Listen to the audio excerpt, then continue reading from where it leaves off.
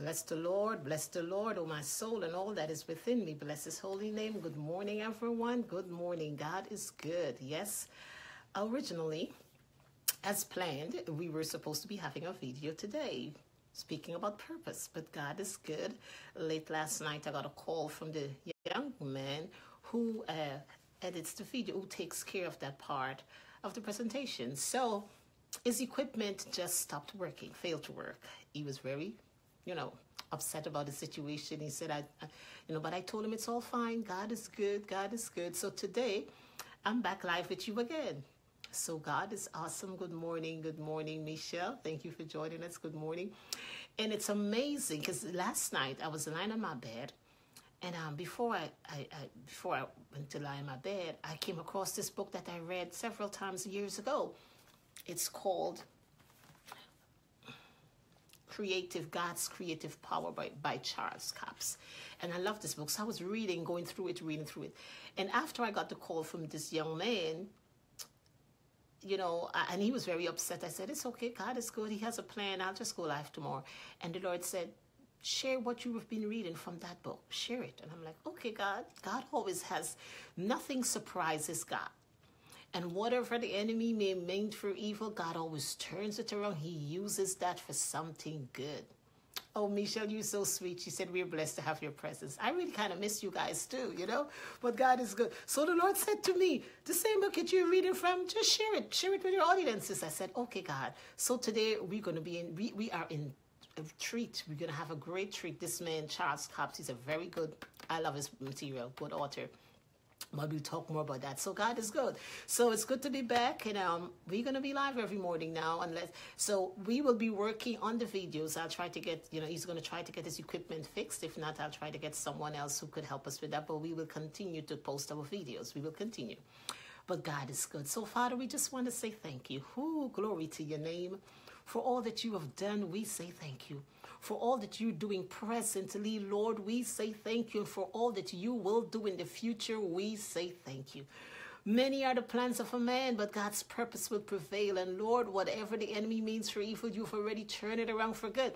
And so, Lord, you have a purpose and a plan today. Even as I was getting ready to do this this morning, the Lord said, This is word is for someone. This word is for more than one individual. I, I need them to hear this word this morning. So, Lord, we thank you. And we pray that those individuals who need this word, it would they, you would draw them to this to this um record and you would draw them to this to this um, when it's posted they would be drawn to it. And lord as they hear we pray they will be receptive hearts. And right now today even as you spoke in your word we speak your word again. The voice of the lord is powerful. The voice of the lord is full of majesty. The voice of the lord breaks the cedars. And as god spoke and broke those cedar trees in lebanon even so, God has spoken today the strongholds in the lives of God's people. Everything that is coming in their way to hold them back, God has spoken and it is broken. Even as the word comes forth today, this word is coming forth to break the strongholds in the lives of God's people, all the lies that the enemy has told them, everything that is not true, this word, is God's word, will break all those lies, would cancel those lies, would open the eyes of God's people. They will know the truth, and the truth will set them free. So I thank you, Lord, for your word, and I thank you that it's going forth under your anointing and your power. And I thank you for receptive hearts. I thank you that they would hear clearly what you want to say or what you are saying to them, Father. And I thank you that they would receive it with thanksgiving and they would make the necessary changes in their lives. So we give you praise, Lord. We say thank you, thank you, thank you for loving us so much. And for those individuals whose this word is for, Lord, I, I pray that they would realize how, how, how blessed they are, knowing that um, God is thinking about them. None of us is inferior to God. None of us is um, forgotten by God. And as the Lord is saying, many of you have been questioning me, asking me what I've been believing for God for better, better things in my finances. I've been believing the Lord for, for, for healing. I've been believing the Lord for this and that. And you've been questioning God. And God said, This word today is for you. Because yes, you may have been believing and you may have been questioning me and, and, and, and, and doing what you need to do. But some of you, Your words are holding you back. Your words are holding you in bondage. Your words are holding you captive. So, Father, I thank you. I thank you that your people would hear. Those who need to hear, they would hear. And they would not be offended, but they would know that this word is coming to them because you love them. So, we give you praise. We give you honor and glory. We pray for those who are sick today my friend who's who's still in the hospital we thank you that by the stripes of jesus she is healed. This this young woman of god who loves you she's pregnant. She she has she's fighting fibroid she's fighting lupus. We continue to speak lupus and fibroid. You have no right in her body. We command you to loose her body. We command you to get out in the name of jesus. By the stripes of jesus my sister is healed. We thank you that that baby strives well in our, our womb, that there will be no complications. So we give you praise, Lord. And we're thanking you because what's impossible with man is possible with you. Every organ functions well in our body right now. So we call forth a miracle in my sister's body right now. We decree and declare, my sister, you're walking in wholeness, you're walking in complete victory, complete healing for your entire body. And we give you praise, Father. Every other individual that's sick and believing you for healing, we thank you for touching their bodies today, Father because we know you took those stripes on your back for healing. So we give you praise. And as our children go out to school, we thank you for covering them with your blood even as parents go out to work and adults, whether they work from home or we pray that you will continue to cover them. And I pray that we will honor you in whatever we do, remembering your word that says, In all your ways, acknowledge me, acknowledge God, and He will direct your paths. So today, Lord, we put our lives into your hands. Not what we desire, but your will be done. We decree and declare your will for our lives today, your purpose for our lives today will be accomplished. Whatever we do would would be in accordance with your plan in Jesus name. Amen. God is good. Thank you, thank you, thank you. So, before we go into our book, it's a cute little book. This is the size and I've I've given this uh, it, this is the size. It's, it's old. I've had it for a while. It's called God's Creative Power by Charles Capps. But our confession for the children today is found in Psalm 1914 and the first verse, first part of that verse, 14a. Psalm 19, 14a. I will let the words of my mouth and the meditation of my heart be pleasing to God. And I made it very simple. Say, the words that I say and the things that I think about will make God smile.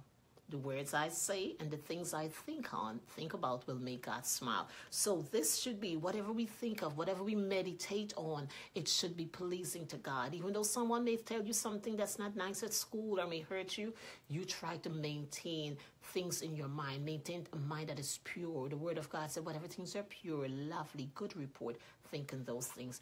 Even you may be feeling sad, you think the joy of the Lord is my strength. So again, uh, whatever I say and whatever I think, I will make God smile. Okay? Let the words of my mouth and the meditation of my heart be acceptable in your sight, O Lord, my strength and my redeemer. That's the verse. So I made it simple so a child could understand and a child could memorize it. Confession for, for adults. And that verse, as I always say, the children's verse, we can also confess as adults. Our confession today I am an imitator of God. Therefore, I talk and act like God. That's found in Ephesians 5 1. Again, I am an imitator of God, therefore I talk and act like God. Thank you, Jesus. Thank you, Jesus. All right. So we're going to start in our book today. Hallelujah.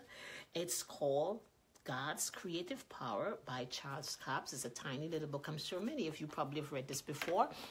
And as I said, when the Lord, when I got the news last night that um, the, the, the young man, very nice young man, he's, he's, he's full of excellence.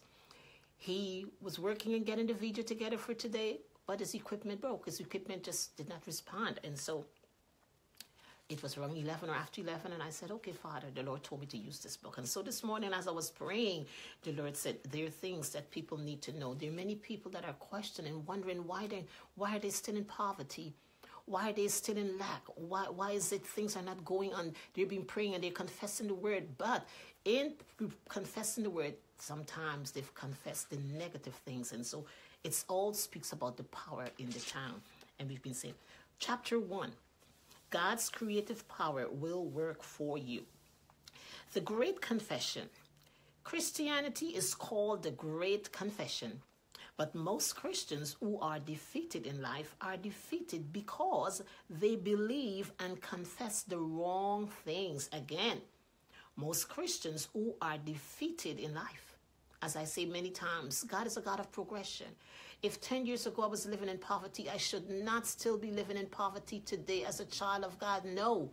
And then some people may tell you, um, as, as Lydia just said to us yesterday, I'm um, talking about, oh, Christians always talking about prosperity. And that's who we are. We are prosperous people. That's who God is. You look in the Bible at Abraham, Isaac, and all those men of God, Solomon. I mean, they were they were wealthy beyond measure.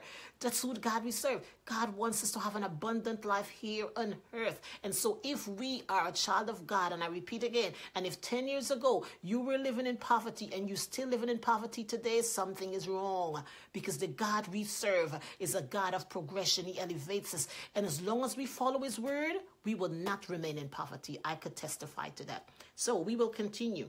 Christians who are defeated in life are defeated. So if you are walking in a defeated life and you say, I've been praying for this and I've been doing this and nothing happened all these years, let's take a little time. Take some time, sit down, let's listen to what God is going to say today and check our lives. God, this is all coming to you out of love. God wants the best for us. He's our daddy. Like if you're a parent, you would do the best for your child because you want the best for your child. Even so, it's God, and God is even more He's even more out for us than we maybe are for he takes care of us. And so, what I want to get to you to understand is that God wants the best for you. So, I'm going to read this again the last time. Most Christians are defeated in life. Who are defeated in life? Sorry. Are defeated because they believe and confess, confess the wrong things. They have spoken the words of the enemy and those words hold them in bondage. So I read word bondage. I said everybody knows what that means, but let me check what the dictionary meaning is of the word bondage. The state of being a slave. Bondage, the state of being a slave. So most Christians, they confess the word of the enemy, and the words that they confess of the devil holds them in bondage, meaning they are enslaved hold them captive. A slave is somebody who has control over you. So when you confess the negative words, those negative words has control. The enemy has control over your life, has control over you. For example, when I say negative words, um, like you, there's a need in the house, and your daughter or son comes, Mom, we need this, or Mom, I need that. I ain't got no money. What do you think? I, I, I'm a money tree. I got no money. I, I'm, I'm broke. All those words. No money, broke. Now you confess, and I'm telling you, years ago, the Lord said to me clearly, Lois, be careful, be careful. Think before you talk. Look at the words you confess because when you confess my word, when no, whatever you say, whatever words come forth from your mouth, none of it just disappears and vanishes. Some force uses it some force, either me, my angel, either I, it could be used by me, and if not by me, it's going to be used by the devil. He said, when you, if there is a lack, and you say, I don't have any money, I broke. He said, you in the hands of my angels. They cannot work on negative words. They cannot work on words like those negative words. I'm broke. Even though, as somebody said, well, it's just being pretend. You're just pretending you broke. You're broke. No. Yes, even though you don't have the money, you don't confess that you don't have it. The Lord said to me, instead of saying you broke, you say, God, this is my need. And your word says, My God shall supply all my needs according to his riches in glory by Christ Jesus. And so because he said, he said, listen to me, you know, and he said, you know, sometimes you're looking at a movie and somebody has to make a decision and you'll see an angel on one shoulder and somebody looking at the devil on the other shoulder. He said, you know, really in life, that's how it is. The angels of the Lord are around, and the devil has his demons around. So when you say a word like, I am broke, I have no money, you tie the hands of my angels. They cannot go forth to help you, and those words do not disappear. The devil would say, Okay, you heard what Lois just said. She broke. No, guys, you make sure. She says she has no money. You make sure she's gonna be keep, she's gonna be kept in that situation. She confessed it. So you use her words and make it happen. Then you find something goes wrong with the car. The washing machine breaks down. This happened. And so you start spending money and, and, and it would come to you like it's a natural wear and tear on whatever you have. Oh, this happens with cars. Oh, this happened. Oh, it's old. It's about time that I need a replacement. No, no, no. God specifically said, Your words, you said it, it didn't disappear my angels can't use it, so the devil sends his angels, his demons, to make sure it happens. And things happens in our lives many times that because of our confession. So if this is for somebody today, confession let's be careful yes we would be tempted like last night when a young man called me and he was upset i started laughing on the phone and he probably found it strange and i said we know where this is coming from but I would rejoice because God, God is going to take care of this. I said, sweetie, you do not be upset. It's okay. God knows you wanted this recording. You, you wanted to edit this video. God knows. I said, it's fine. God is going to take care. And after I got off the phone, I started praising God, and the Lord told me to start, you, you know, Let's go through this book from today. And so, as I'm saying, God has a plan. God, regardless of what you may face today, do not confess what you see, the negative. You think of a scripture first, or even if you don't remember a scripture first, you the, oh, the thing the thing you could say that is safe. Lord, I put this this situation into your hands. I don't know what to do. I really don't want to say. I don't know what's next step. I'm not going to confess negative. Just said, Lord, I put it into your hands until the Lord started giving you some word to confess. So let me move on. Okay. So bondage means being enslaved. Proverbs chapter 6, verse 1 to 2 says, Thou art snared with the words of thy mouth. Thou art snared. I said, What does the word snare mean? I decided to look in the dictionary also. Now, snared is the past tense of snare. It's spelled S N A R E D. And so snare, S-N-A-R-E, means a snare is a trap for catching birds or small animals. It consists of a loop of wire which pulls tight, tight around the animal. Snare again is a trap for collecting birds or small animals. It consists of a loop of wire which pulls tight around the animal. Now, Proverbs says here, we are snared with the words of our mouth. So we are entrapped. It, it, oh my gosh, this is, who? Just picture yourself, those negative words you say. It's like when you when you say it, there goes a loop of wire over your head, and it entraps you and it pull, it's holding you there. It's hold you. It's it's around this animal. It's around your neck and it's holding you.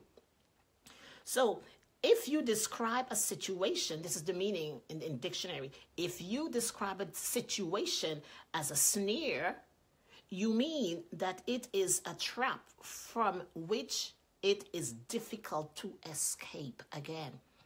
If you describe a situation as a snare, you mean that it is a trap from which it is difficult to escape. So Proverbs says, Thy words, your words, thou art snared with the words of your mouth. So the words that you say entraps you and make you difficult to escape.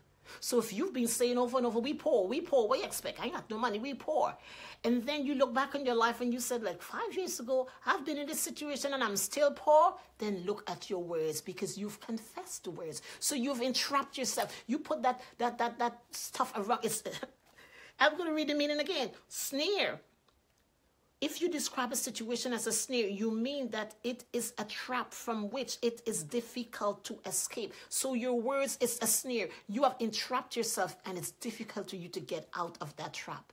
But today I bring good news to you. You can. God has been seeing. God has been hearing somebody's cry. I've been praying for healing, or I've been praying for, find, for um, breakthrough my finances. Uh, these bills are not going away, and I'm in debt, and, and, and the collectors are calling me. But if you keep saying I'm poor, if you keep saying I don't have, instead of saying, Lord, I thank you for meeting this need, my God shall supply my need. Lord, I thank you for giving me wisdom in spending my money. So God is saying, I've been hearing your prayers, but you have to stop confessing because your words are as um, as held you in a place that is difficult for you to escape. But today is your day of escape. Today the, the salvation has come to you. God is bringing the word to you. He's opening your eyes to show you the importance of your words. So I went on to, so as I looked at the word bondage, it means the state of a slave. And I look at some synonyms, some other words that describe bondage that means the same subjection, oppression, and persecution. Then I decided to look up the word oppression. Oppression means prolonged cruelty or unjust treatment or control, or it also means um, abuse. Okay? Another meaning of oppression is the state of being subject to unjust treatment or control. Another meaning of oppression, mental pressure or distress. So here we are. We, because of our words, we bind ourselves, we're in bondage, which means we are being oppressed. Or you may say to that child, You're just like your father, you're no good. Mm-hmm. His father may have wronged you. He may have cheated on you, left you to care for your son. And you see certain attributes in your son, certain certain traits, I should say, in your son that is not good. That's like his father, negative traits. And when you confess you like your father, he was this, he was a no good, you will be a no good, you are there ensnaring your child, you're entrapping him, you are, mm-mm-mm. It's, a, it's an abuse. That's what, that's what the word means. Oh, Jesus, synonym. You are abusing him. It's an abuse, a form of abuse.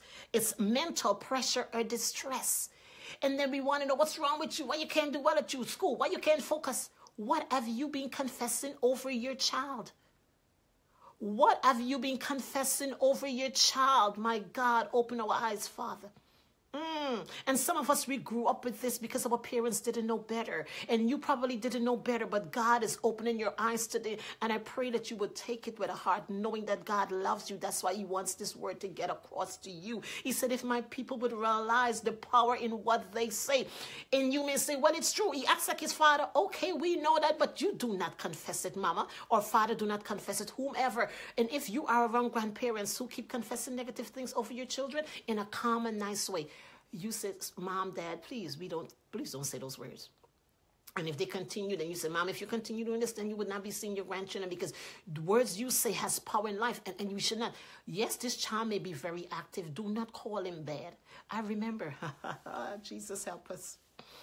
Years ago in my old church, my second son, Joel, is always an active child. He's smart, he's intelligent. And you know, you may have a child like that. The child gets bored easily. He needs something to grab his attention. He's a smart child, and so he needs activity. He gets bored easily, so he's very active. So one day, a woman who's supposed to be a sister in the Lord, a Christian, she looked at my son and she said, You devil. And I stepped over to her, pulled her aside because, you know, and I said, Sweetheart, I know you probably grew up here. And I said, we don't call him that. He's not a devil. I said, You're a child of God. You know what the word devil means, right? He is not a devil. Please refrain from saying that. And to my surprise, she said it again. So what did I do? I called my son. He was what, four? I said, Joel, look at her in the eye and you said, In the name of Jesus, I rebuke you. I am not a devil. I'm a child of God. Oh, and my little boy, he was bold. He was bold. And he looked at her in the eye and he said it. Now, you see, the first thing I did, I pulled her aside because you don't want to teach your children to disrespect people. But if you pull somebody aside and you tell them, do not be using those words against my child, and they continue, then you teach your child to, to reject every negative word that anybody says over them. And I put him there and he was bullied. I said, you look at her in the eye and you tell her, I, I rebuke you in the name of Jesus. I am not a devil. I'm a child of God. And I let him start confessing all these things over his life. Many of your children are struggling. Oh God, Hakara Jesus, have mercy. Mm, Lord, open our eyes, open our eyes because of the people we associate with. And they would call our children names and we would laugh at it. It's not funny, people. It's not funny. And the enemy, my God, the, there are things that I hear children saying negative words that means oh, like like this word. But my children know I'm very big on confession. What you come in my presence and you say something that's not, not positive, I would correct you in a very nice way. Especially if it comes to my children. Nobody's nobody's going to be confessing no negative word over my children. No, because they are the righteousness of God in Christ Jesus. They are the head and not the tail. They are above and not below. So I remember um my daughter came home and she was talking about something and it was something funny and she said, "What was the word she said?" Oh goodness! Oh, it was at my it was on my tip, the time of my. Um. Mm, Jesus help me. Anyway, it was a negative word that meant something good. And I said, "Sweetie, what does that mean?" Oh, Mama, just mean good. So I said, "Why can't you just use say good?" It's gonna come to my mind later. Why can't you just say good? But anyway, She so she knew because the word of God, the enemy brings all these slangs, young people, and it does slangs. And um, even as I speak, some of it may come to your mind, but this is going to come back later, if not today, another day. They bring all these slangs. It means something good, but it's a. If you look in the dictionary, it's a negative word. It the root of it is something negative. So they're using a negative word to describe something that's good. And little do we know that's the enemy playing on our minds. We do not realize, oh, everybody's doing it, but he wants to get you to confess the negative word because that's the what's the meaning, what's the root meaning of that word. So as you confess it, you confessing a curse over yourself are you bringing obstacles in the way to prevent you from progressing? And so we have to be so careful with the words we confess. I'm going to continue. So, uh, yes. So this is the thing: bondage. It talk about slavery and the word oppression, which is a synonym to bondage. When we speak negative words, it brings about a mental pressure or distress. So let's be careful what we say about our children. I remember sometime my daughter, years ago, my daughter got me so upset about something she said. And I was about to say something, and the Holy Spirit said, Now be careful. Be careful because those words you're saying right now would not be the words that I would say to that child. You could bring a curse over your child. Like, oops, thank you, Jesus. Thank you, Jesus. We all get mad. and we say the obvious what we see. This child just gets on my you know the word, and then you start getting this migraine headaches because you keep confessing they're getting up my nerves. I can't take this anymore. You confess that over yourself. So, I mean, it, sometimes, you know, you laugh at it because it's so funny and we do it ignorantly. We don't realize. So, those are the little ways in which the enemy creeps into our lives and prevent us from walking in our fullness, prevent us from walking in our wholeness, prevent us and our children from walking in their blessing. So, if you see a child is struggling, do not confess it. In the name of Jesus, you will do well. You are a good child, even though they may be doing stuff that's not good. We're going to confess the word because, listen to me, as parents, we have certain power and authority in us. So when we confess our words, it should be life. All right. Faith, so thou art a snake. Faith filled words will put you over, meaning you you you you excel in faith filled words. So faith filled words, an example is if your child is not acting right or doing things that are on the negative side, instead of confessing you are a whatever, you use the negative words and you would do whatever, you say, In the name of Jesus, I thank God that you have the mind of Christ and you make wise choices. The next decision you make would be a good decision. And you confess it. And you might hear the enemy kind of laughing in your ear, in your head, and mocking at you. You confess the positive over your child. I know you could do this because you were trained this way. And not only that, you have God that you can talk to to give you the strength to make the wise choices. And so we confess that. So faith filled words put will put you over, meaning you're gonna go get over that situation. Now, fear filled words will defeat you. Fear filled words. Oh gosh. Um, I could never do my, every time I do a math test, I feel I'm never good at math. I'm gonna never do well at math. No, don't you say that. Yes, you may not be very, you know, quick at math. It may not be your thing, but don't confess that. You say, Lord, I thank you. The next time I'm going to get a better grade. And Lord, Give me good study skills or help me to understand. When the teacher teach me, this is a prayer the Lord give me when my child was failing in a subject area. Lord, when the teacher teach me, you interpret it in my mind, in my ear, in the way that you know I would understand it. Why? Because God made you. And there's sometimes teachers have different type of the way they teach us, the different style of teaching does not does not um help some children. Their style of teaching is so different that some children do not understand the way they teach. So if you come to God every time before you get into that classroom, Holy Spirit, Lord, Holy Spirit, God, teach me. You explain, interpret it in my ear in a way that I would understand because you made me. You know how I understand what I understand and what is the best way for me to understand. It works. My son started confessing that. He went from failing to A grade student. It works. And you ask, Lord, give me different strategies of how to how to um, study, strategies how to memorize. The Lord is going to give that to you. So faith-filled words will put you over. Fear-filled words will defeat you. Words are the most powerful thing in the universe. Again, words are the most powerful thing in the universe. And as I say this, I remember one day I dropped my son off at school, and as he got out of the car, he was walking kind of slammed over in this. It's like, and his facial expression like, what is going on there? Why does he look like that? I don't know if he was thinking of the day, what it's going to be like at school. I don't know.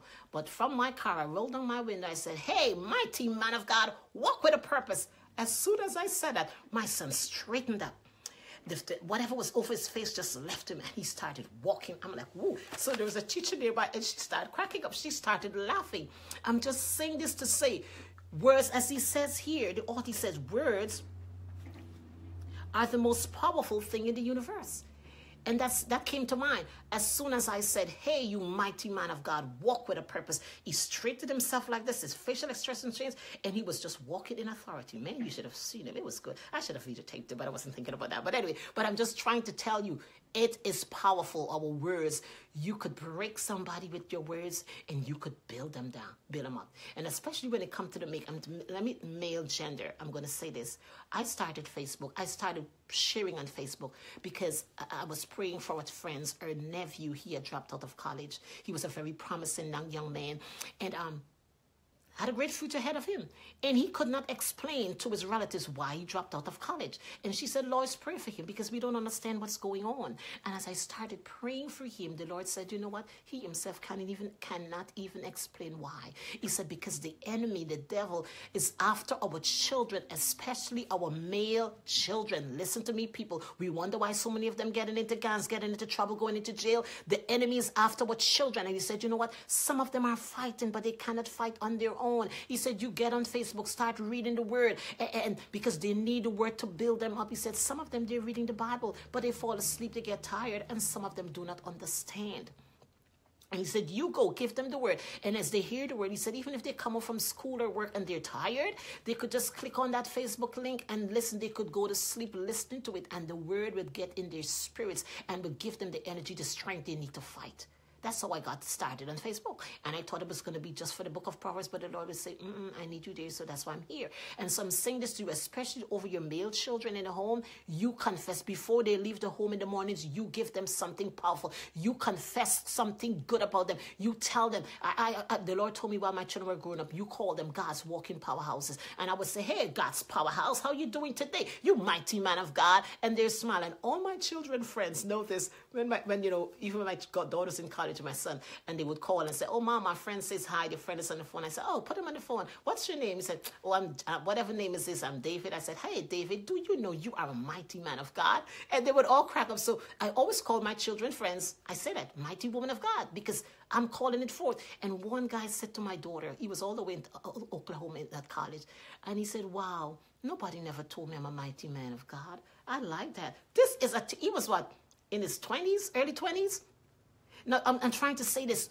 There is power in the words, and when we when we keep confessing those powerful words, you don't have to say "mighty man of God" if you don't want to. But look look at something good in that young man, and you call it for, even though he may be disobeying you in rebellion you keep calling him the good thing that you see in him and it would it would one day one day it you would see it coming forth because when he goes out there he would hear his mother's voice saying or she called me a mighty man of God, or she said, I am intelligent. She's expecting me. And your words have power. Mama, you have parents, you don't know how much power you have. Let's use that power wisely with our words. And so, hallelujah, hallelujah. We're going to stop here. But I want us to go out today with this in mind. Thank you, Jesus. Words are the most powerful thing in the universe. Therefore, I'm going to use my words wisely.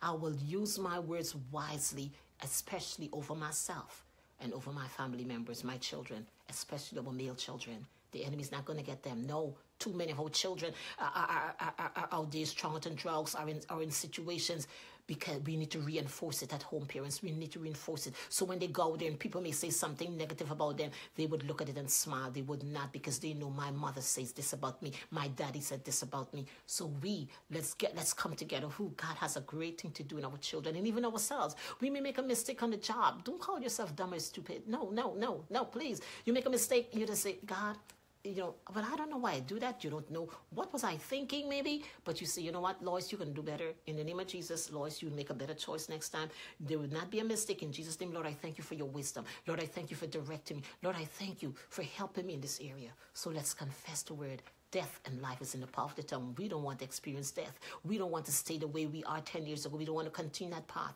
but we want life. Again, words are the most powerful thing in the universe. Therefore, I'll be careful. I'll use my words wisely. As remember, God said to me, Nothing that you say just disappears in thin air. It doesn't. If my angels cannot use my words, then the devil is going to send those demons to make it happen. Don't tell your child he's stupid. Don't tell your child they can't, they can't learn. Don't tell your child that you putting a noose over their neck. You you you you you you you enslaving them to those words. You are actually you know our words could curse and bless our children. So let's so let our words be blessings. I hope this is a blessing to you today, Father. I thank you. Mm. I thank you, Lord. Help us. Help me. Help me, God, that I be so careful in the words that I say, the things that I say, Lord. It would be the words that you will say because we are imitators. We want to be like you. We're your children. So whatever words we're about to say, we would stop and think and say, would God say this about my son? Would God say this about my daughter? Would God say this about my spouse? Would God say these words about me? Help us, God, to choose our words wisely. Mm. And I thank you for the deliverance that you're bringing right now to your people. Hallelujah. Oh, yes, God. Yes, God. Yes, God. Yes, God. I thank you. Oh, you're Sunday. I pray that they would receive this word with love. And I thank you that the eyes of your children are open. They would not be entrapped by the enemy. They would not be tricked. All those words that the enemy's been bringing, those negative words that the young people use as a slang, as a phrase. Oh, it means this. Oh, it means that they would realize that's a trick of the enemy to get them to confess. He knows the power in our words, so he wants them to confess it. And when they think, oh, it's cool, they are confessing something negative over their lives. So, Father, we give you praise and I thank you for your word.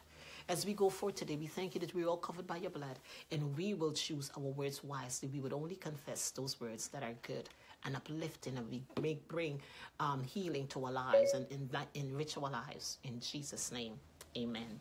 Hallelujah. So as you go today, remember to encourage an individual, a young individual, just give them a compliment. Especially you see, look for something. If you see a young guy, and even though his, his pants may be swagging or whatever, and the color shirt is a nice color and it looks good on him, you could say, "Wow, I like that color in you. You look so handsome." Don't, don't look at the negatives. Just just look for something, and you encourage them. Them might be the only positive thing they've heard for the day, and you don't know what that word will mean to that individual. Be blessed. As I said, I've, I've made this song our team song, miracle working God. And why? Because as we sing it, we're, we're confessing positive words. And as I say, throughout the day, as we go through our days, we may make up this morning we decree and we confess it's going to be a good day and something comes at us that did that we didn't expect. And i know for me in the past whenever something suddenly arises especially something painful that i didn't expect i freeze up. And sometimes I, i'm just lost for words. And some people they may use bad words or some people they may just get into that stress mode that worry mode. But when something arises in our lives this song the words something that you know that you can't fix something that is so disastrous, you're like, where do I turn? Remember, God is a miracle working God and He's going to work a miracle in your situation. So let's go out with miracle working God. Hallelujah. Oh, yes, and let us exalt His name together. Hallelujah. Oh, glory. Mm. Worship the Lord in the beauty of holiness. He's a miracle working God. Miracle working God. Miracle working God. Nothing is too difficult. He's a miracle working God. Miracle working God. Miracle working God. Nothing is impossible. He's a miracle working God. Yes. Thank you, Lord. Oh, we bless your name. He restored my soul. The paths of righteousness for his name's sake. And yea, though I walk through the valley of the shadow of death, I fear no evil, for God is with me. Yes, whatever you may come your way today, do not walk in fear. God, I need a miracle from you, so I confess your word and I receive it, God. Woo! Supernatural working God, I receive. My wife, it with me. Miracle working God, miracle working God. Nothing is too difficult. He's a miracle working God, miracle working God. Yes, He is. Wonderful working God. Ooh, I love my God. I just love my God. Hallelujah. Mm. Thank you, Jesus. Mm, yes. Healed and restored. Yes, of the goodness and the supernatural power of a miracle working God. I walk in my miracle. Hallelujah. I receive. Thank you, Jesus. From the supernatural power in my God. Mm. Thank you, Lord. Receive it today, regardless of how long you may have been in this pain or this medical condition. God is never late. He's a miracle working God. Thing is impossible. He's a miracle working God. Miracle working God. Yes, He is. Woo. Thank you, Lord. Nothing is impossible. He's a miracle working God. Oh, we bless your name. We thank you, God. We would not worry. We would not stress ourselves out when situations rise up. Because my God, yes, in the impossible, He specializes everything that you're going through. Bring it to God and believe Him for a miracle. Woo! Miracle, God. Nothing is impossible. He's a miracle working God. Hey, miracle working God. Miracle working God.